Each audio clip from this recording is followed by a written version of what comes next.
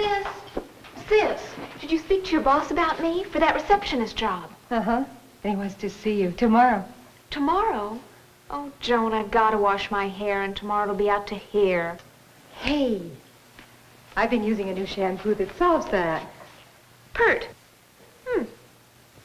Love the suds, but tomorrow my hair will fly all over. No, it won't. Pert's different. Washes almost like, like it had a cream rinse in it. What? Like a cream rinse in the shampoo. Well, how'd it go? You look lovely.